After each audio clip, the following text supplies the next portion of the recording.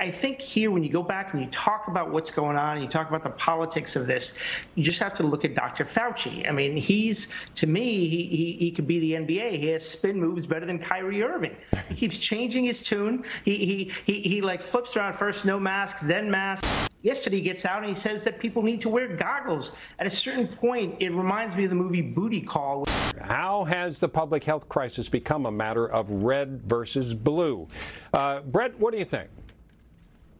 Well, first and foremost, we see hypocrisy. We see inconsistency in application and advice and, and mandates that are coming down from from different states. You take the governor of South Dakota and what she's doing. Um, she's she's smart. She's uh, into the weeds. She studies the issue. She's also letting her people make good decisions while getting children back to school, and and and it's that's very different than what we're seeing in New York. And so it's becoming political because I I'm sad to say this because I never thought I'd say something like this. Uh, I'm very sad to see Democrats compromise accuracy, facts, and data all because they don't like who's in the White House and they want to keep the well, pandemic how are they as doing the issue how, they can how use. Are, how are they compromising the data? What do you mean? Well, first, when you see the hysteria out there, it is a result of the increased numbers that we're seeing um, in, in, those that have contracted uh, COVID. But what we what we don't see is the general trend, the the fall in the mortality rate, the increased in testing that we do in comparison to other countries. So you have Dr. Fauci that seems to suggest that, um, you know, church and and other events and schools, we need to be incredibly careful, but says nothing on protesting. Yeah. So you, you, we're, we're, we're bright enough to see inconsistencies uh, as American people in the messaging. You know, it's interesting today on the testimony on Capitol Hill, Vinoo, that the head of the CDC, now that that's not actually Dr. Fauci, that's Dr. Redfield, and he said it was important to get back to school for kids, yes. health-wise, that it was a global health issue. Oh, it, it, yes. it, it is something. Let, let, let me give uh, Vinoo a chance yeah, to, to answer, please.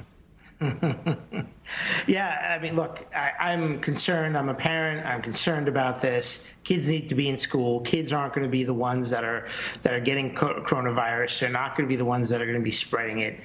You know, it's incredible that I saw a stat that in New York City, one out of every four uh, teachers or workers in a in a school is high risk. Well take them out. This begs the question of wh- who's here for who?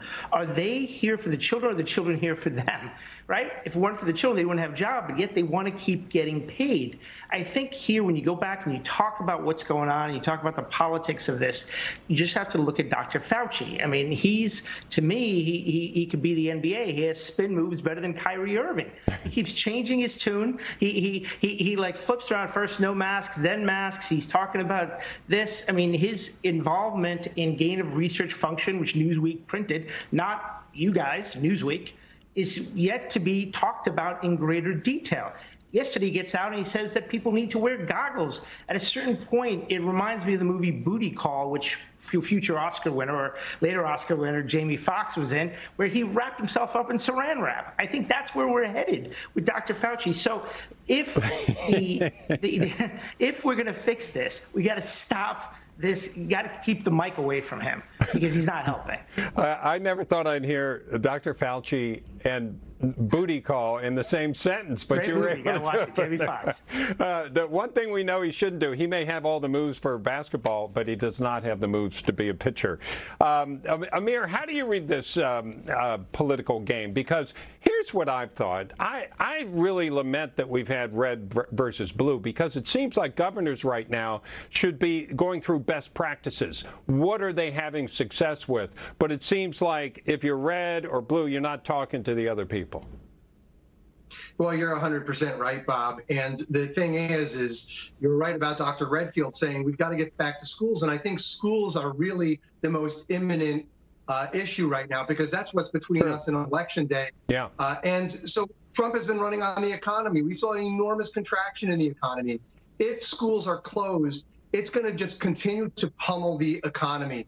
And like Dr. Redfield was saying, schools are where child abuse gets detected. Schools are where kids get their nutrition. Kids are get their mental health counseling.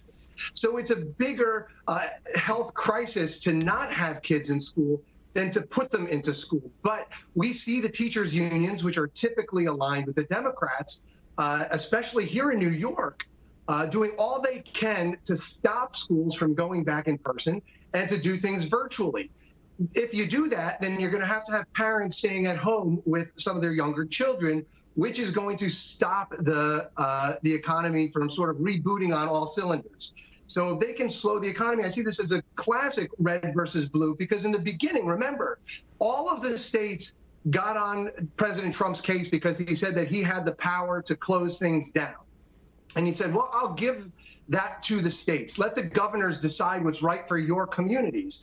And now the Democrats start arguing that, oh, no, President Trump hasn't done enough. Well, which one Yeah. is it? So they're the real flip floppers here. They're turning this into a red versus blue Yeah. issue. But I think that Donald Trump needs, you know, his poll numbers. Rasmussen came out today saying his approval rating is 50%. So I think people are seeing that they like the way that that's a Yeah. big climb over last week. I think they like the direction that he's taking. I've also seen the polls actually get closer uh, in, in recent days. Uh, Brett, we've got about 30 seconds. I'll, I'll leave the last thought to you as far as uh, what what do you think is going to happen between now and November 3rd? Well, I think it's going to be interesting if there is if there are debates because I think that might be Oh. the most significant event to, to occur. If we can see um, on prime time a comparison of the candidates, their vision, what they what they expect uh, to accomplish, and their responses to what's going on, I think you'll start to see how far left the Democrats have moved, and Biden is just happy to be moved in that direction. Yeah. Amir Benno, Brett Tolman, Vinoo Varghese. Thank you, gentlemen, for being with us today. And folks, we're going to take a break. Be back with more of American Agenda after.